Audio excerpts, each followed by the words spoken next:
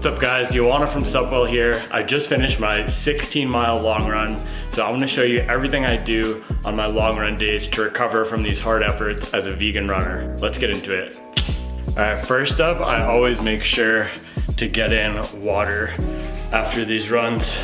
They're pretty uh, dehydrating efforts, especially here in the North Carolina summers. It was 80 degrees out there today and I didn't have my handheld water bottle with Nuun electrolytes, which I usually bring on my long run. So I'm gonna need to prioritize rehydration as a big piece of my recovery today.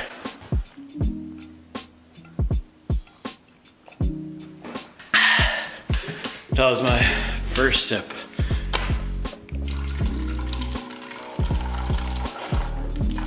Now it can be kind of tough for me to get in any solid foods right after these runs. So what I usually do is I'll have two scoops of Tailwind Recovery Mix, which is, uh, let me see, dextrose, sugar, coconut milk powder, amino acids, basically everything you need to recover from a long run or any harder workouts. And it's vegan and it goes down super easily. So I'll mix this up to get in 240 quick calories after a long run.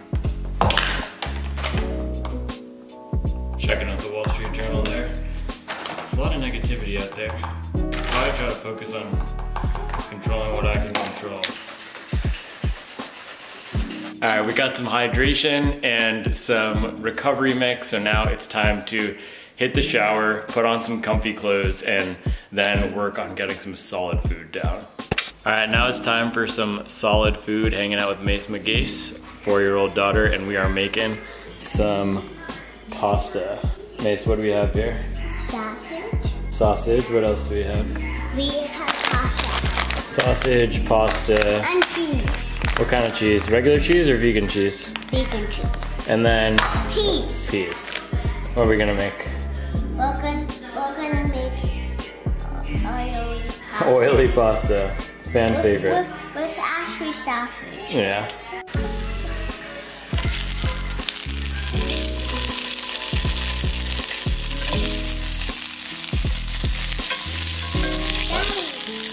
It's a nice sizzle, huh? What's that? Daddy. you like it? All right, Mace, what are we listening to? Big Bird. Got some Big Bird on the record player. Perfect recovery day music. Alright, we're cooking these sausages to the perfect level of crispiness. You gotta cut them up into these rounds so that you can crisp them on both sides and it's just delicious. Right, Mace? Yeah, can, can you do that? Oh, Now, I don't like using the microwave, but sometimes it's a necessary evil in this kitchen. We got the frozen peas in there for a minute uh, just to soften them up. If I'm making fresh pasta, today I'm doing leftovers, but if I'm making fresh pasta, I'll throw the frozen peas in the pot with the pasta for the last two minutes so they boil and I can avoid the microwave. But today, we gotta put the frozen peas in there. If you got another method to thaw frozen peas without putting them in the microwave, let me know. The spatula is supposed to go on the plate. And where do I keep putting it by accident? You you keep putting it on on the pasta. Yeah, you're a rule follower like your mother. No, can, can I see? Can I Now, see? what's what's going on in here? Got the perfect level of brown in the cast iron. All right, we're done with the sausage. Now we got a trifecta of leftover penne in there. Threw some oat milk and some butter, and we're gonna probably throw some nutritional yeast in there too, and make a nice sauce for our pasta. How do the sausages look? Good. Did you try one yet? No. Do you want to? Mm-hmm. Can you try them first? Try one first so they're not too hot. They're still hot. We can wait. All right, Mace. What do we got here? Pasta, peas, um, spinach, and sausage. Yeah, look at that. Final product. Beautiful. We got the Mason size one, and we got the Big Daddy one, and we got one for the baby when he wakes up.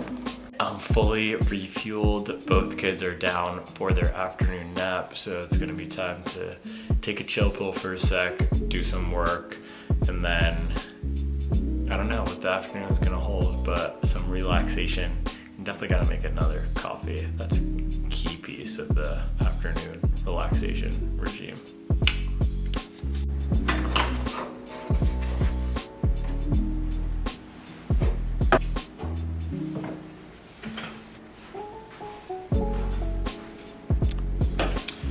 The afternoon kind of got away from me here, but we went to the splash pad with the kids. They absolutely loved it. Splashing and splashing around in the water. Love that place because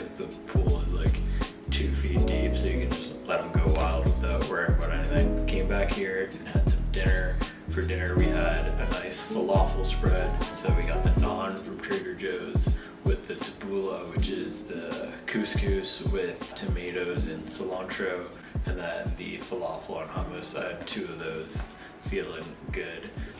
Alright guys, put Mace to bed and now it's time to edit some videos, do a little bit of work on the site, and then try to get some shut-eye before another busy day tomorrow. So thanks for watching and following along on this day of the life vlog and for more stuff like this about my life as a vegan runner, founder, CEO, and dad, like, follow, subscribe, all this stuff on YouTube. I'll be putting out more content. Thank you.